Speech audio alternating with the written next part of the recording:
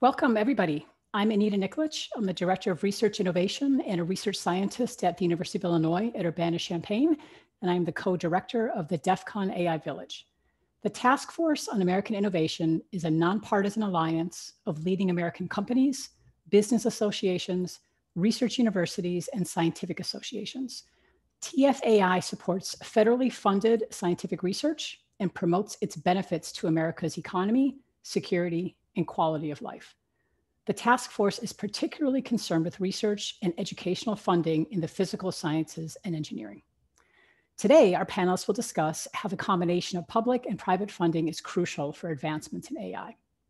Uh, throughout the webinar, if you have any questions, please put them in the Q&A box uh, and our panelists will attempt to answer them. Don't put them in the chat.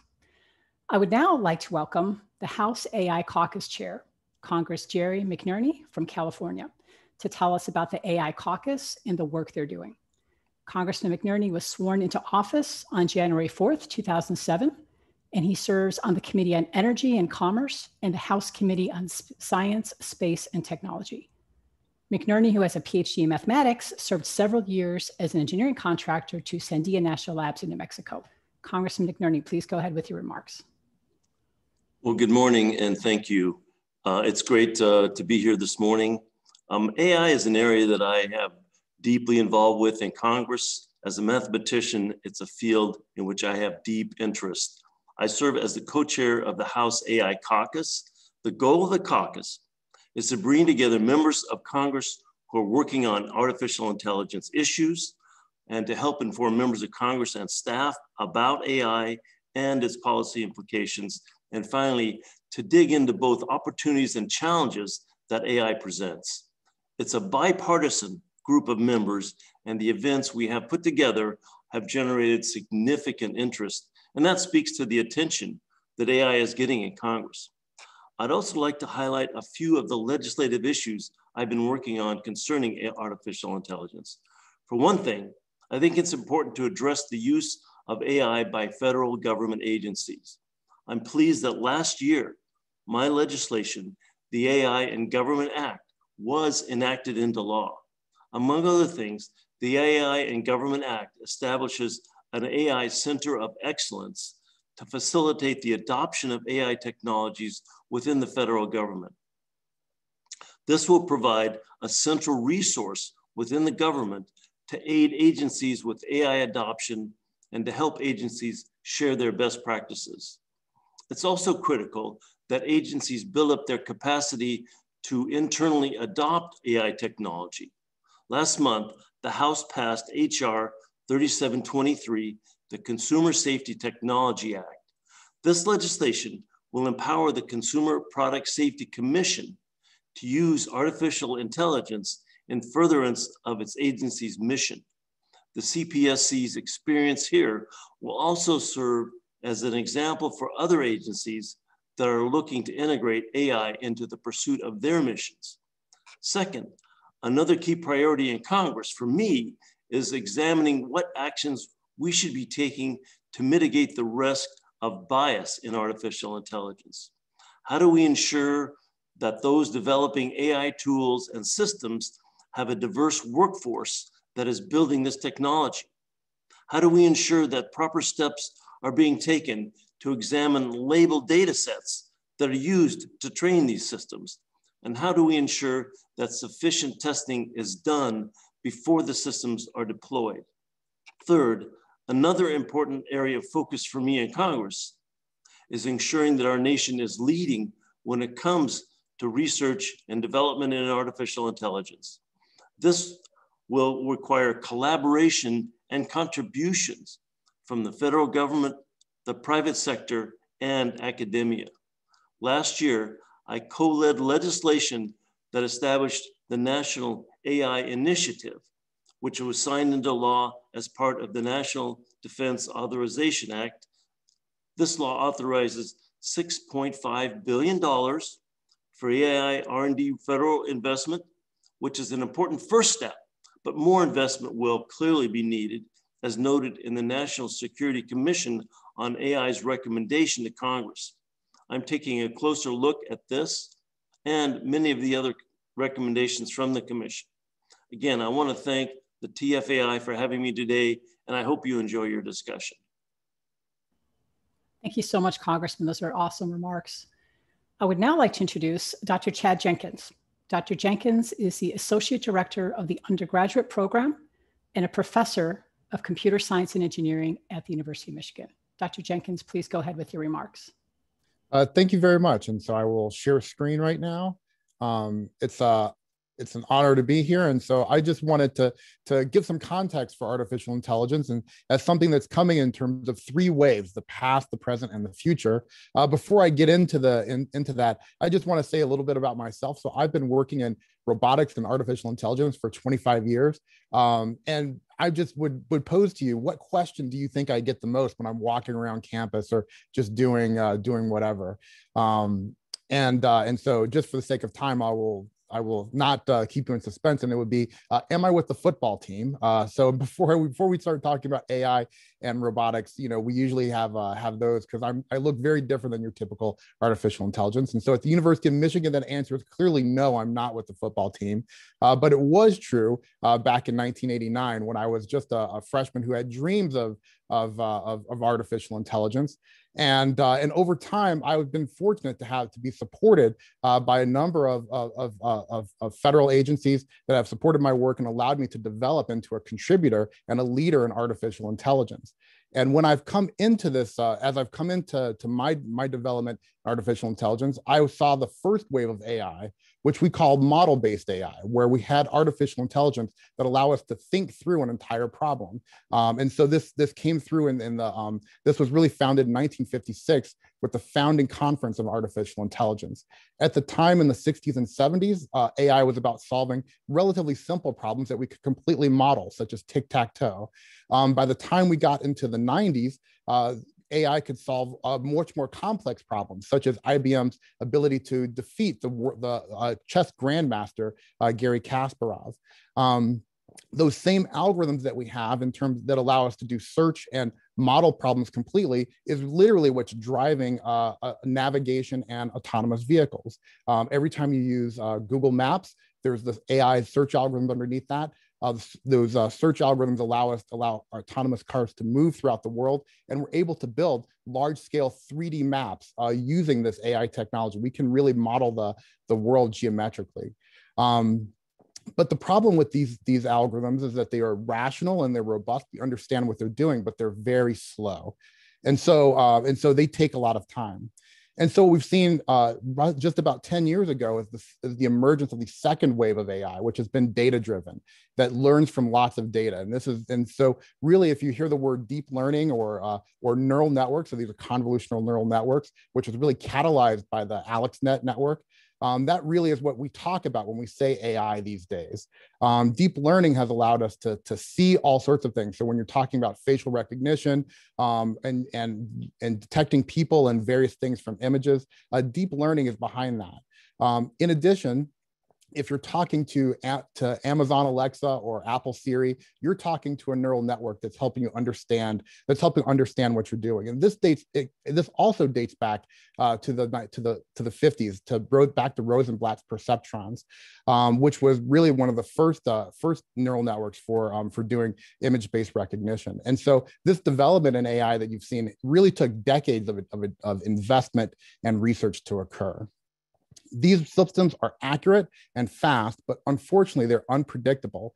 Uh, they can get high accuracy rates, uh, but they can be easily fooled. So, the, as a roboticist, I care a lot about driverless cars and how they function. And so, there's just some simple examples can can can be can be very uh, very concerning, such as if a, if one of these AI systems is looking at a stop sign, all you have to do is make simple modifications, whether those modifications are benign or malicious, to make to maybe fool the system into thinking that a stop line is a, a stop sign is a speed limit sign, and so that is very concerning. This is a, a relatively simple example, but this uh, this shows how how deep the problem can uh, it it gives some indicators about how deep the problem can go. And so this has given rise to what we're calling the third wave of AI, where we want to combine the first wave, the model based and the data driven, to generate explanations. And we want to have these systems be accurate, fast, and accountable, in addition to, um, to being ethical, fair, adaptable, and sustainable uh, within the resources of our climate. And so there's been the AI roadmap that's come together by the Computing Consortium community and the Association for, uh, for the Advancement of Artificial Intelligence that is laying the groundwork and has uh, for how we think about this, uh, think about AI moving forward. In addition, this they've uh, they've really helped start catalyze uh, the um, the AI institutes and many of the the ways that we're thinking about AI moving forward. Um, just to give one example of what third wave AI could look like, um, imagine that you were giving a handwritten digit uh, and that, that, could look like a nine or a four. Um, you want to, there's going to be inherent uncertainty in that, but you want an AI to tell you when it recognizes this, why it thought that, why it made that, that guess, why it made that estimation. And that way we can get some accountability for the decisions that are coming out of these systems. Um, and so this really is just to, to give uh, just give some context. Um, the next way of AI, we've had a number, the, the, the CCC has a number of, of papers, quadrennial papers that go into the artificial intelligence, what it looks like moving forward. Um, I'm just highlighting a few of these issues that federal investment is needed for, for success for the nation in a globally competitive environment where we can produce the leaders of the, uh, the, the next leaders of AI. And we really don't know where these next breakthroughs are gonna come from. So we really need diversity as we move forward. So with that, I will, I will pass back and thank you very much for your time. Would not be the most common robotics question I would think you'd get, but uh, very interesting talk. Thank you so much, Dr. Jenkins. And uh, Dr. Jenkins will be around, so if you have some Q&A, uh, please put him in the box and um, he will uh, answer. So I'd now like to introduce our panel. Um, we have four very interesting panelists. First, we have Dr. Blaise Agüera y Arcas, Vice President at Google Research. He will discuss Google's approach to fundamental machine learning research, give some examples of discoveries integrated into Google products, and talk about where he sees the frontier and future of fundamental research and product applications. Dr. Talitha Washington, she is the inaugural director of the Atlanta University Center Consortia on Data Science Initiative and a professor of mathematics at Clark Atlanta University. She will discuss the most effective ways of using government support to increase representation of historically marginalized groups in AI ML research and touch on how the future of AI ML innovation depends on increased representation. And Dr. John R. Smith, he is an IBM fellow in AI tech at AB, IBM Research. He works at the IBM TJ Watson Research Center. He will, will provide some history on research and collaboration with government and where IBM sees future frontiers. And we have Dr. Court Corley. He is a chief data scientist and group leader of data sciences and analytics at Pacific Northwest National Lab. He will talk about what the role of the national labs is in AI ML algorithms and hardware de development, what they view as the most exciting ML frontiers, and how PNNL and the national labs are working with partners in government and industry to drive the field forward. So welcome panelists. Um, I have some, some pre-prepared questions they're gonna talk about. And then I would leave it up to the audience. If you have some questions, please put in the Q&A box because you want to get to as many of your questions as possible. So I'm going to start with Dr. Corley. Um, can you tell us how are the US national labs and your lab, PNNL specifically, how are they driving innovation in AI and ML with support from DOE and other federal research agencies? Second part of that is what do you feel are the most important contributions the national labs have made to this field? So Dr. Corley. Well, thanks so much for having me here. So I've been at PNNL for 12 years, focusing my research on data science and AI and its application to scientific discovery, energy sustainability, and other areas of importance to the US government. My national lab colleagues and I are working to advance the state of the art in AI and machine learning and algorithms and hardware and apply those advances to critical missions we have a unique place in the ecosystem connected closely to agency missions to do discovery-based science and partner with academia and industry. We take the unique and challenging federal mission applications and use them to drive hardware and algorithms forward. In my opinion, uh, national labs are driving innovation uh, in three key areas, uh, AI for science, co-design of algorithms and hardware, and learning with limited data. First, in AI for science, we're working hard to incorporate knowledge about scientific theory into AI algorithms. Uh, and this has many benefits. It increases the explainability of AI algorithms when scientific theories and knowledge are encapsulated in them. Uh, integrated known scientific principles, the laws of, like the laws of conservation of energy or gravity, can make algorithms more efficient, reducing computing and data needs of the algorithms. The Physics Informed Learning Machines Center is a consortium of DOE labs with academic partners at Brown, MIT, Stanford, and University of California, Santa Barbara. And PhILMs is uncovering hidden physics based on new developments in deep learning. Um, and they have released a software package that's been downloaded tens of thousands of times and it's being used by many different organizations. Um, one example is that the physics informed machine learning tool is being used to augment algorithms that look at how fluids move, helping better understand how contaminants like per and polyfluoroalkyl substances uh, move underground, which in turn helps with environmental remediation. Second, DOE has a history of partnering with industry on co-design. Um, and co-design is the tight development of algorithms and hardware to solve unique application challenges. And most recently through DOE's Exascale computing project.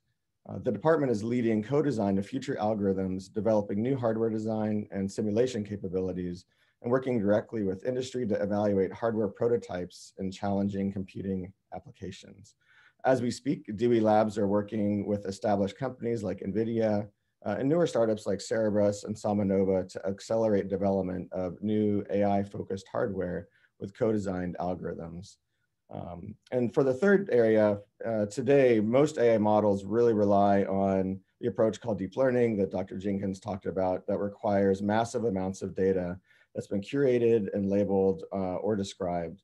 One of the major challenges in developing approaches that can learn well with less data um, is really important. And that is one of the things we're working on since many of the applications we care about uh, don't have access to massive amounts of, of labeled data. So national labs and academia are well suited to develop these algorithms as we frequently encounter these challenges with limited data in scientific research.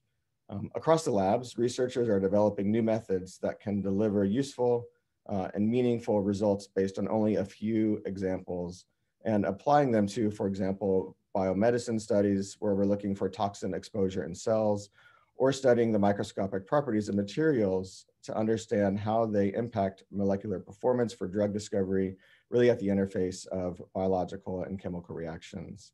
Um, these advances in AI for science, co-design of algorithms and hardware, and learning with limited data uh, are really incredibly exciting to be working on uh, with my national lab colleagues. Uh, and that concludes my answer for the first question. Thank you so much. And if there's any questions, uh, please put them again into the uh, Q&A and our panelists will get to them. So next I have a question for Blaise. So you, you lead a large research group at Google looking at AI. How does Google approach its machine learning research investments? And why do you feel government investments are relevant for a well-resourced company like Google? Um, thank you. Uh, so these are these are great questions. Uh, I'll begin with with uh, Google's investments and how how they approach it, and what what I you know a couple of examples of some of the most exciting things that I that I see us doing uh, today. Um, so Google is one of the uh, largest remaining uh, of the big research labs in um, in in computer science in, in the private sector. we we invested um, 27 billion dollars in R and D uh, in 2020, and uh, a large portion of that was uh, was in Google Research in in, in, our organization, which works on fundamental innovation. And a, a, lot of that fundamental innovation is in AI and machine learning. that's become central to Google's business, and it's also work that we do very much out in the open. Uh, the vast majority of that of that research gets published uh, as soon as we do it. Uh, it goes in, it, it, it, gets published in the form of open data sets and research papers that get put on, on arXiv, which is the big uh, repository of papers that, that, uh, that, for open access that, that everybody in the world has access to. In, in a way, the whole innovation process for AI and machine learning is this kind of worldwide uh, collective project uh, that, that is contributed to by, by tens of thousands, hundreds of thousands of researchers all over, all over the world. And, and, and the, the, the speed the, the kind of speed of, of progress is very much a function of that openness and those numbers. Um, Google's role is quite prominent in all of this, uh, despite despite its overall size, uh, the overall size of the of, of the effort. um, the the big uh, the big conference in AI, uh, NeurIPS, is um, uh, I think that Google had not only the most papers in uh, NeurIPS last year, but but more than the next largest contributor by by a factor of two or so. So um, so we're doing a you know a huge amount of a huge amount of work in in, in this area, um, and uh, I, you know, I'm very excited by a bunch of specific projects. I, I can give a couple of examples uh, that that I think are, are kind of paradigmatic. Uh, one of them is is one from my own group called Federated Learning. Uh, I'm I'm excited about this one because it combines uh, artificial intelligence with privacy technologies. Uh, privacy is, is really the reason that I came to work at Google in the first place eight years ago.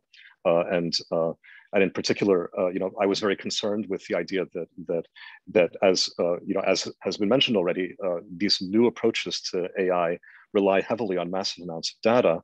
And um, the idea that that AI is in a sort of trade-off relationship with, with privacy of user data is one that I found uh, very uncomfortable and, and really made it sort of my mission and the mission of, of my team to address that. Um, that started off as a fairly crazy idea eight years ago. Uh, I'm running an organization now of 600 people, uh, largely focused on that problem.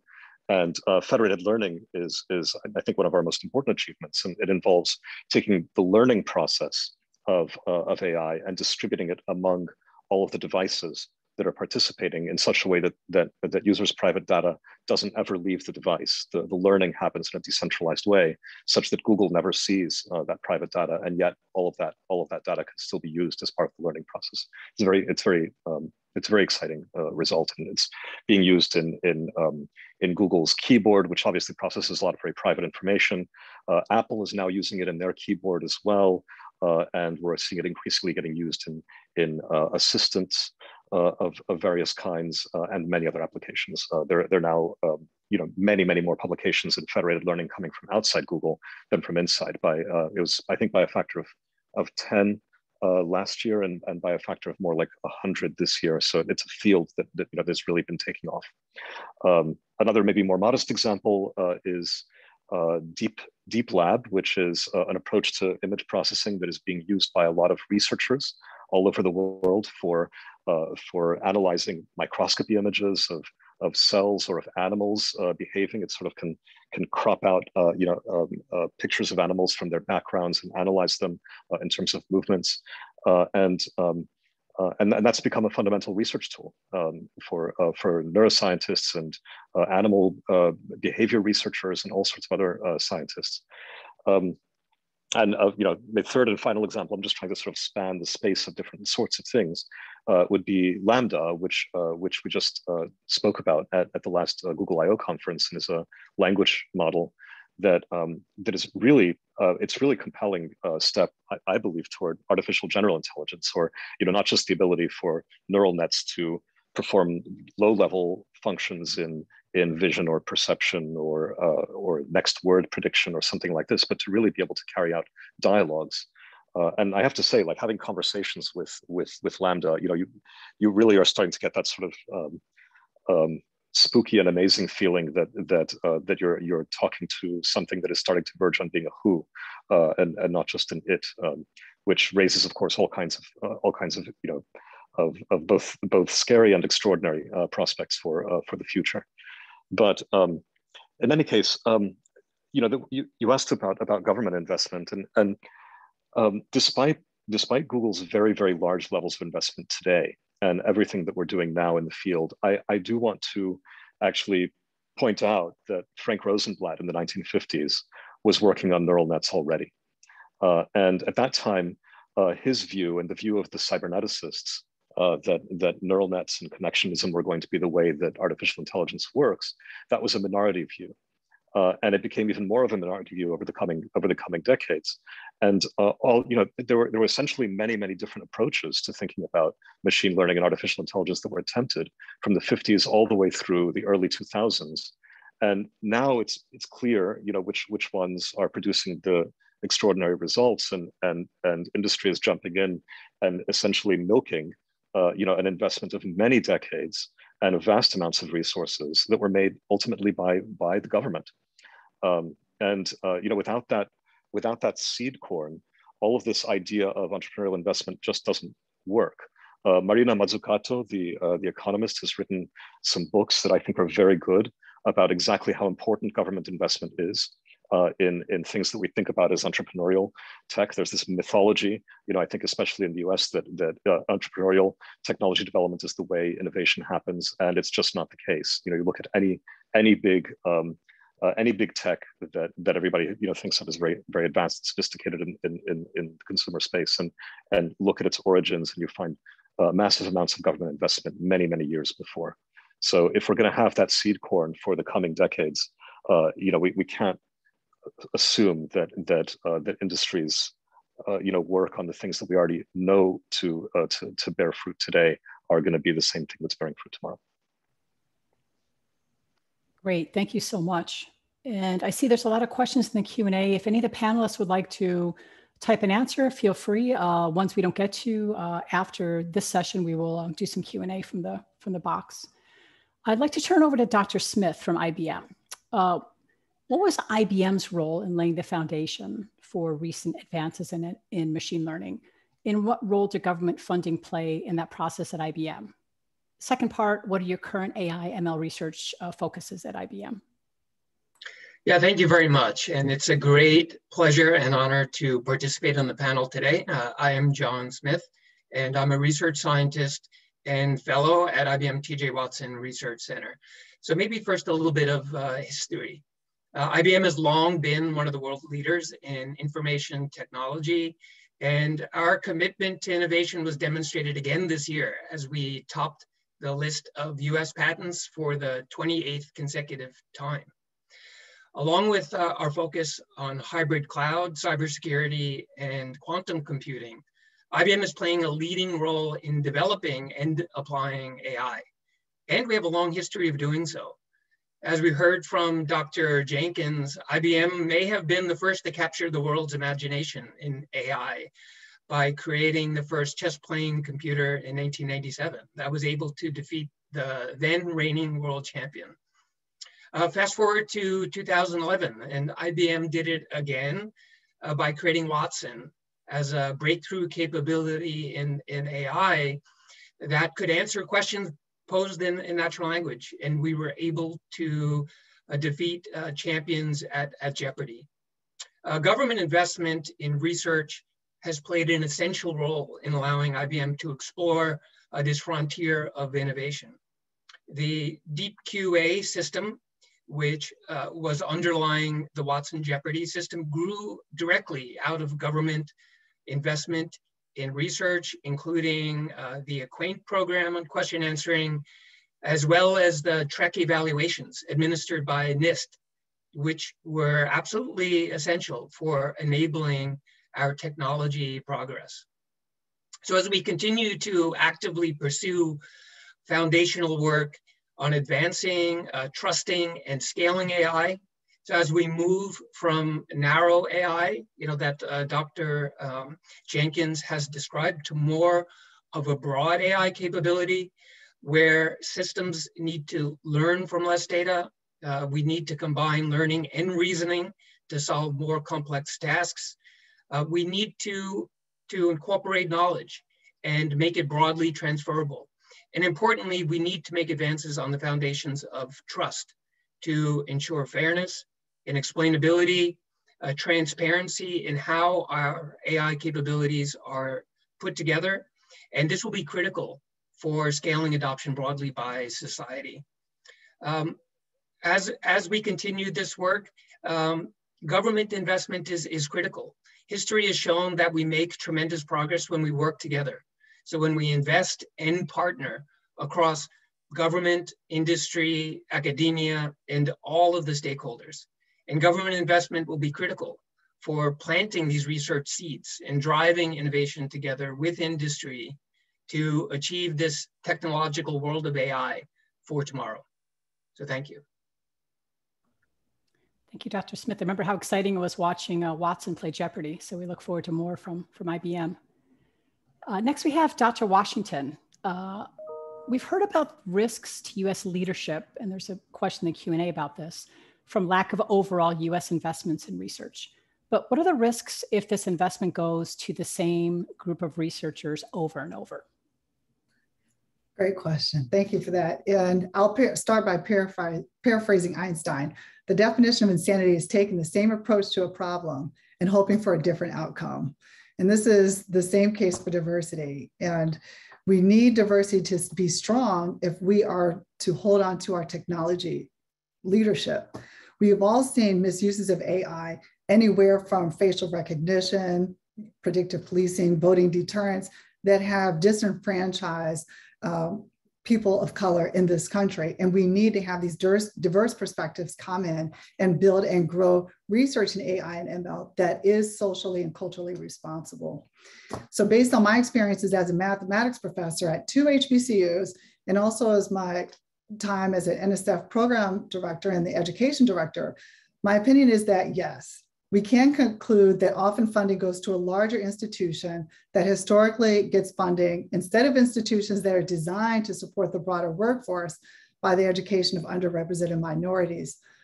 Our community has unfortunately, from my vantage point, adopted a research funding mechanism avoiding grants that exhibit white leadership and Black fellowship.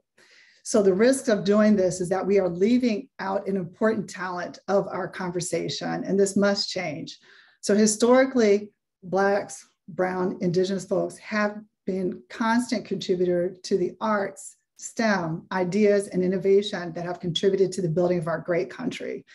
As it stands, not investing in integrating this minoritized US voices, including Black, Latinx, Indigenous communities, and other underrepresented minorities, we are missing the creativity that put America ahead of most countries over the last 100 years. We all know that talent is parsed across the nation's population equally via Gaussian distribution, but access to opportunity is not. We must leverage the diversity of our nation, including race, gender, and ethnicity, but also geography and institution type. We can't beat the competition in AI and ML innovations if we have 30% of our folks on the bench. So we really need to take a serious look at diversity and not do things the way we've done them, but do them in innovative ways that really push these AI ML frontiers forward. I'm going to ask a follow-up that I see in the Q&A. This is for you, Dr. Washington. It's kind of tangential to what you're saying, but we have a question from Roy Harrington, um, which says, in terms of the technological race between US and China, the latter has more STEM graduates than the former. Do you think China will eclipse the US in 2021 in terms of innovation, creativity, technological advancements, robotics? Um, maybe this kind of dovetails with your uh, comments about diversity and inclusion. Would you like to um, discuss that? Yeah, so we're kind of in this um, global competition race, and we have a lot of untapped resources here in the United States just because of some of the social barriers that we have placed on people and the expectations we placed on people because of where they come from and who they look like. If we're really going to advance as a nation and really develop artificial intelligence and machine learning to benefit the greater good, we're going to need the participation of everyone. And if we don't kind of um, get that game squared away, I think we will be at a parallel. China will come in and haven't already um, kind of beat us at that. Here at the Atlanta University Center, we are really working hard to develop diverse talent to go into artificial intelligence, to go into machine learning.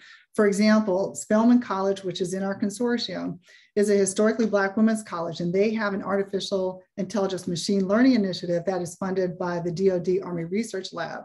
And through this grant, Spelman has trained 42 pre-freshman students. So these are students coming into college in AI and ML technologies. So, and students have also went on to do additional research in machine learning with the Army Research Lab personnel along with Spelman faculty. So having both of our students and our faculty engage in this funded research opportunity with those at the Army Research Lab helps us build our AI ML expertise and programs. And this early exposure encourages our students, which are majority Black, go off and diversify this field of AI ML and increase representation. So I note that Spelman is our country's leading producer of Black women who complete PhDs in STEM. I myself am a proud product of Spelman and I've been faculty administrator at other HBCUs. And I believe that continuing investments in HBCUs, historically Black colleges and universities, and other minority serving institutions must continue. And if we are really going to develop this diverse talent pool, So we really need to become smarter with this much needed investment if we are really serious about diversifying the AI research talent pool to ensure that our nation remains strong in both AI and ML.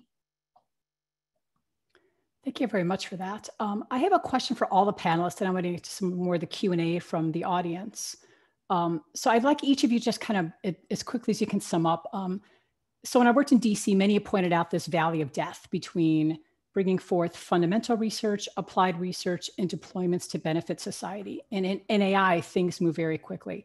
How do each of you foresee bridging this gap between research and enterprise or production of good things to society? And how does it entail maybe bridging public and private research? So um, perhaps you want to start from the top. Uh, Dr. Corley, would you like to start with that? And then we'll go to the other panelists.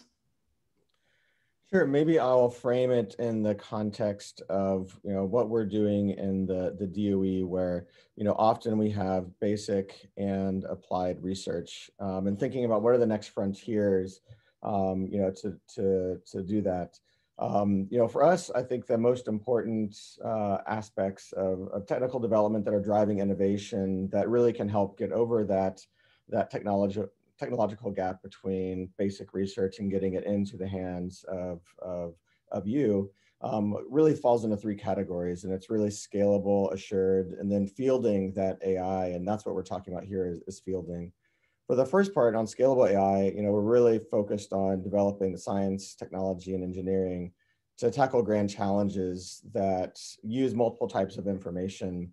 Um, you know, this requires developing new approaches to building and deploying models, and, and really today, AI algorithms are, are started are built on one type of, of data, but in the future, it needs to work like we do as humans um, and learn from multiple senses or multiple forms of data. And so that's one way I think, you know, having AI models and development be much more realistic and usable um, in the real world. The, the second piece to get over that valley of death is this the assurance piece, or at least how I, I frame it as assurance. And really, you know, we're driving assured AI systems that are explainable. Um, we, we heard about that from Dr. Jenkins, operate safely, um, and as we expect them to. You know, there's been some popular press about how vulnerable AI systems are. Uh, most of us have probably seen them, whether it's intentional or unintentional, um, or they give wrong answers. There's a great example from Black Hat, uh, which uh, um, you're probably familiar with from Tencent Keen Labs in 2018, where they showed that a Tesla autopilot could be fooled um, to make actions that were unexpected. And it really exposed vulnerabilities in a, in a working you know, machine learning system. So this is really just a practical example of why we need more trustworthy and robust AI, um, really in high consequence systems to enable that trust. At least for the DOE um, and other US government missions, that's the, the second piece that can help us bridge that gap between uh, the valley of death as, as you as you as you framed it. And lastly, it's bringing those two together and, and fielding AI. Um, the National Security Commission on AI uh, report that came out also talked about a lot about fielding AI um, in our world, and it's really necessary to ensure that our applications are useful um, and impactful, and they translate into real world impacts. And I think there was a question in, in the, the Q and A about how do uh, how does you know, how do we as citizens of the US take advantage of, of AI? And really one of our jobs as AI developers is making sure that we can also translate those uh, basic research advances. So really getting the academic, corporate, and government laboratories uh, AI advances out of the lab um, and bringing them to bear on modern applications, you know, ranging from the edge and Internet of Things, accelerating drug discovery and materials discovery, protecting the grid, you know, I think all these things are ways that, you know, fielding AI really is going to enable us to bridge that gap, um, you know, between the two. So. Any of the other panelists want to address that? I know, uh, Blaise, you talked a little about that with Google. Anything to add to Dr. Corley about what Google might be doing? Um, yeah, I, there, uh, so um, yes to all of Dr. Corley's points. I'd, I'd add a couple more as well. Um, I mean, in many ways, you know, what what um, what my team and, and, others at Google do, it, you know, is is very much uh, you know crossing valley of death type problems, uh, taking taking uh, theoretical advances and turning them into uh, into applied uh, ML, applied applied research and, and, and product. Uh, in many cases, that builds on decades of, of, of earlier government funded work. And I would also say that you know it once once we already know what discipline something is, uh, in many ways, uh, the, the hard work is done. Um, you know, what I think is not often appreciated is that a lot of the fundamental advances in AI actually came from neuroscience, um, came from uh, from biology, from other fields, uh, and and from interdisciplinary work. Uh, and you know, we do a certain amount of collaboration with uh, with academics in those fields, but um, you know, the the the sort of of exploratory and basic research that has to be done in order to seed that that space is much much larger than the sort of tip of the iceberg that we see in this in this kind of valley of death crossing stage. Uh, the kind of government resources that are focused on tech transfer and solutions, uh, like the ones called for in USICA and the, the NSF for the Future Act, uh, I think are really important to all of this. Um, I, I, also think that that um, you know I, a couple of the other panelists have brought up questions of of uh, Internet of Things and security and hacking. Um, I, I, also see a real need for um, for baselines of uh, especially security of Internet of Things uh, and of operating systems that run ML. Uh, this is this is still very much the Wild West, and you know as as a as an, uh, an AI researcher, I would very much like to see the sort of computational foundations where we're running all of these things secured a lot better than they are right now. And that would be a place where regulation would really help. Thank you. That is music to my ears, at least from security. Um, I want to ask uh, Dr. Jenkins to jump in next and then Dr. Smith. So uh, would you like to jump in, please, Dr. Jenkins? Right. I, and so I, I can't emphasize enough uh, the the the need for seed corn. I think that's the word that, that was used, and that um, and that the AI that you're seeing today is really the result of people having the vision many decades ago. Um, you know, AI, AI, the the the, um, the neural networks that we that we have was very much outside the mainstream, and it took people who were who had some support uh, you know, not a lot of support, but but they took what they had in order to to show the promise of the technology. Um, basic research can be considered abstract or useless, um, but um, but it take but but and and and you know and but that's what it might look like when it's in its messy formidable stages uh, for you know for in, when it's being formed. Um, but if you give it time and you give it some uh, some uh, uh, give it the chance to develop, that's when we start to see the breakthroughs. I don't think people saw this this um, the second wave of AI the neural networks that were t- that, that are now mainstream nobody very few people predicted that um, but we were fortunate that there were that we had diversity in our intellectual landscape that allowed it to happen, and that requires uh, you know not overfitting to one particular mindset and thinking there's going to be a, a laser focused way that we're going to we're going to be able to explore this space. Um, this requires letting a thousand flowers bloom and then seeing what comes up. I'm going to uh, defer to Dr. Washington next because she actually worked for the, the person who wrote the Valley of Death uh, thing that we all kind of go by. So, Dr. Washington, please uh, jump in first. Yeah, so Doug Maughan, he was one of the co authors of that paper, Crossing the Valley of Death Transitioning Cybersecurity Research into Practice. And he was my supervisor at the National Science Foundation when I worked in the uh, convergence research, the convergence accelerator. So, the convergence accelerator essentially brings together, converges different disciplinary fields to tackle national scale societal challenges that really, frankly, can't be solved with a single discipline.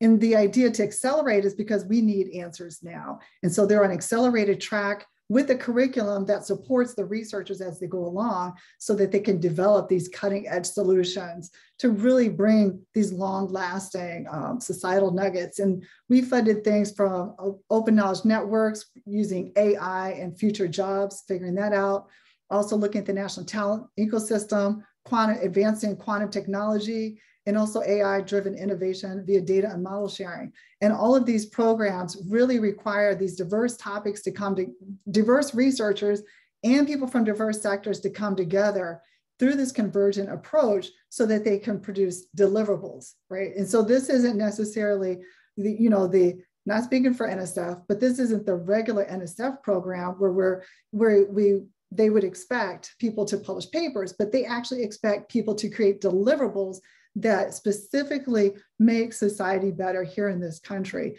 So it's a bit of a different shift. And as we know that NSF now, you know, my first name is Talitha, starts with a T, so I like T. So they want to put the T into the NSF technology, taking the research, you know, from the bench side into the public domain that people can actually use it. And, but that's a shift in, in our scientific community. And it will be really interesting to see how this shifting of our focus and how we do things in science and how we value what we do in science really will come along with that venture. So having worked in the Conver Convergence Accelerator, I've seen firsthand about how these different teams can come together and address how to do um, push innovations in quantum, how to use um, these AI federated learning with across different health systems data, you know, to really push us forward in a way that I don't think we have seen yet before. So I'm really excited about the work of the Convergence Accelerator at NSF. That was a, a highly transformative program. Thank, thank you for your work on that. So uh, let's wrap up. Uh, Dr. Smith, if you had some comments, and then uh, we have some uh, Congress people to give some of their closing remarks. So Dr. Smith. Yes, thank you. Yeah, I couldn't agree more with my fellow panelists here. Investment from government is absolutely essential. Um, and if we see that uh, we let industry um, take care of the, the majority of investments around research, they will focus more on legacy needs. Um, yet, if we don't invest enough on the basic research side from the US government, we get air gaps in the system and we don't really have the, the flow forward. I think some of the programs like the Convergence Accelerator and NSF are um, really a recipe for what's needed here. We need to partner together across government and industry throughout the whole life cycle. So from basic research to translational research to commercialization. And if we can do this, invest together, uh, partner together, and commit to outcomes together, then I think we have a good chance at overcoming you know, some of what's required here to, to move forward. Thank you. That was an amazing panel. I wish we had more time. Um, our panelists are going to stay on. We're going to we're going to have some Congress people videos now, some comments. Please continue to put your questions in the Q and A box, and our panelists they're starting to type them in. Uh, but thank you very much. We could, I'm sure, go on for several hours with everybody's uh, fascinating comments. So we now have some closing comments from uh, two congressmen. Uh, I'll introduce them, then we'll hear their uh, videos. The first is Representative Obernolte from California. U.S. Congressman Jay Obernolte proudly represents California's 8th District in the House of Representatives a video game developer and business owner. He serves on the Committee on Natural Resources, Budget, and Science, Space, and Technology, and in a leadership role as a freshman class representative to the House Republican Policy Committee. He holds a BS in Engineering and Applied Science from Caltech, an MS in Artificial Intelligence from UCLA, and a doctorate in Public Administration from California Baptist University. Uh, after that, we'll hear from Representative Bill Foster from Illinois, Congressman Foster is a scientist and a businessman representing the 11th Congressional District of Illinois, a position he's held since 2013. He is the only PhD physicist in Congress, and he serves on the House Financial Services Committee and on the House Science, Space, and Technology Committee. Let's hear our closing remarks, please.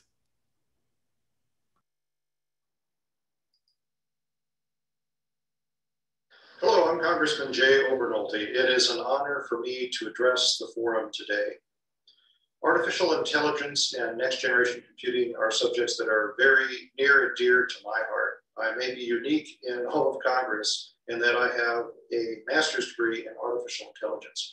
I also am an entrepreneur. I own a video game development studio that I founded out of my dorm room at Caltech 30 years ago. And uh, I still have 28 employees in the technology industry today. So in my career, I've written many millions of lines of code. And that gives me a passion to make sure that our research and development infrastructure in the United States is adequate to provide for our future needs in computer science, but artificial intelligence in particular. And I think this is more important now than ever because we all know the beneficial ways that artificial intelligence can enhance life for Americans over the next hundred years. But also recent events have illustrated the need for more computer science professionals to protect our national infrastructure from foreign actors who might want to disrupt it using the principles of computer science and using artificial intelligence. I mean, you've seen uh, the attack on the, uh, the pipeline uh, that uh, took down oil delivery for most of the East Coast. Uh, I think most, uh, a lot of us were very alarmed when there were gas stations up, up and down the East Coast, including here in Washington, D.C., that uh, didn't have any gasoline as a result of the pipe the uh, attack on the Colonial Pipeline. Uh, and then also JBS meat processing, one of the largest meat processors in the country, shut down by another ransomware attack. Uh, those are things that illustrate the need for vigilance in the field of computer science. And I think that we in government have an obligation to make sure that we have the tools to meet that challenge. So I'm working on a number of different pieces of legislation uh, in that space. Uh, first of all, uh, just uh, yesterday, I had a bill passed committee that would establish a new occupational series for federal employment for computer science professionals, such as people working in artificial intelligence and working in data science. Uh, it amazes a lot of people, and it certainly amazed me when I found out about it, that we don't have occupational classifications for those disciplines within the federal government. They only exist in pure research settings. And I think we can all agree that we need to attract that kind of technical talent to careers in federal employment if we are to have any chance at competing in this next generation workspace. And then also, I think it's incredibly important for us to support uh, our early career students and graduate students who want to pursue fields in uh, careers in fields like artificial intelligence. And that's why uh, I've introduced legislation a couple of months ago, uh, the uh, traineeships and fellowships for Early Career AI Researchers Act, which would create both fellowships and uh, scholarships for students just entering the field of artificial intelligence. And I'm, I'm very happy that that passed the House of Representatives a couple of weeks ago, was included in the uh, uh, the uh, uh, NSF for the Future Act, uh, which is something that I was very pr proud to co-sponsor and really hope that that's going to set us on the path for success. and then also another thing that I am very interested in is next generation computing. And so I authored legislation called the Next Generation Computing uh, Research and Development Act to try and stimulate more US investment in post exascale computing. And uh, most of you might be familiar with the lingo, but I'll just, it's, it's very important to understand why this is such a game changer. So I'll just take a minute to, to go into why uh, the legislation is important. Uh, when I learned how to program 35 years ago, we measured computer speeds in millions of instructions per second. And that was, that we thought that was really fast. But what we really care about now as scientists is we care about floating point operations, which are much more complicated. And we measure the speed of a computer not in its ability to execute instructions, but instead in its ability to crunch numbers, because those what we're really interested in doing when we talk about complex scientific modeling and solving problems. So we measure it in floating point operations per second. Uh, and uh, just recently, the world has seen the introduction of the first exaflop computers. That's uh, 10 to the 18th floating point operations per second. It's, it's almost a mind-bogglingly large amount of computing power. But the reason why an, exa, uh, an exaflop is important and the, why, the reason why exascale computers are important is because the first time computers are approaching the computing horsepower of the human brain, which biologists estimate is about uh, an exaflop. So we are going to be able to do things in artificial intelligence that we have never been able to do before because up until now, AI has relied on heuristic algorithms that take shortcuts to try and get a computer to do what the human brain can do. But we're not going to have to do that anymore with exascale computing. So uh, my bill, the Next Generation uh, Computer uh, Research and Development Act, will, will stimulate post exascale investments in post exascale computing and make sure that capability exists here in the United States. And it also creates grant programs for energy efficient computing because uh, as most professionals in the field will tell you, uh, the, the production of heat is one of the barriers for making computers faster. And if you look at uh, the the Exaflop computer at Lawrence Livermore National Labs that will be operational in the next couple of years, that's going to consume 40 megawatts of power, just that one computer. So you can imagine the need to, uh, to reduce the amount of energy that, that goes into that. So uh, uh, very happy that that passed. Uh, also, the House of Representatives a couple of weeks ago as part of the DOE for the Future Act, and uh, really uh, hopeful that that passes the Senate also and, and creates those programs. so I, I want to thank you very much for your support of uh, efforts in the United States to stimulate investment, not just in computer science, but also specifically in artificial intelligence. I'm a big believer that what we are doing in this space is going to change the world for the better. uh, for not just the people that we represent, but people all over the world. So uh, thank you for your interest and uh, thank you for your support as we embark on this journey together.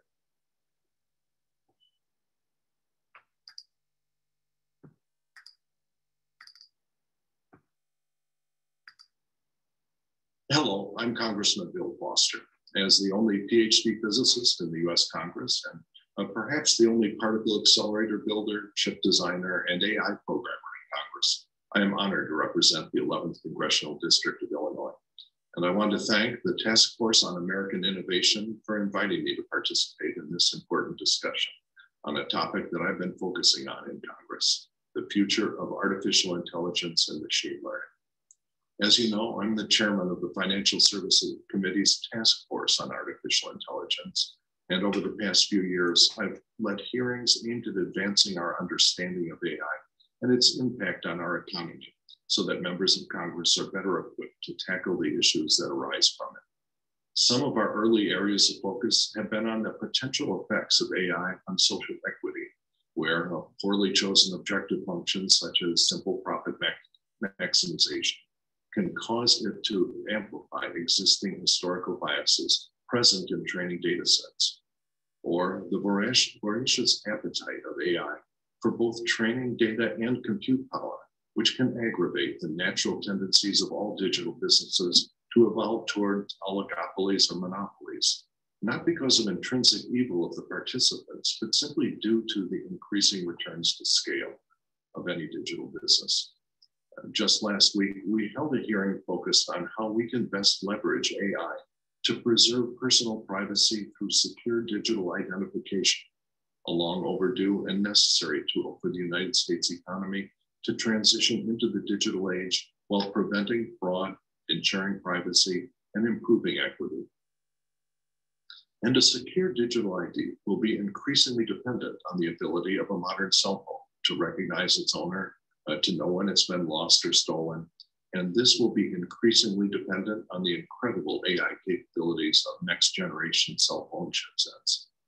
It will depend on a modern cell phone's ability to use its secure enclave and secure compute facilities to make digital ID impossible to clone or counterfeit. A capacity that will put a premium on trusted silicon foundries, which will put under stress the global trade models which have not distinguished the fundamental difference between free democracies of the world and those with trusted court systems and those regimes which use technology to control and oppress. The fact is, developments in AI at the, are at the forefront of innovations that are transforming the way Americans live, work, and interact with one another. From weather forecasting to autonomous driving vehicles, manufacturing robots, uh, and the list is long. AI technology is here to stay, and it will be used in ways both seen and unseen, anticipated and unanticipated. There are two pressing needs that will determine whether America will be the world leader on AI or to spend the next few decades playing catch up. First, we need to sustain robust government investment in AI and machine learning research that will pave the way for breakthroughs of the future.